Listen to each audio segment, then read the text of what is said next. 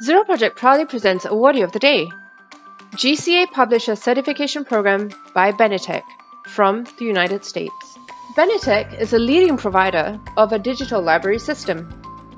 As another project, it launched the Global Certified Accessible Certification, which not only validates the accessibility of individual ebooks, but certifies the entire workflow of publishers and supports everyone involved in the production of digital books.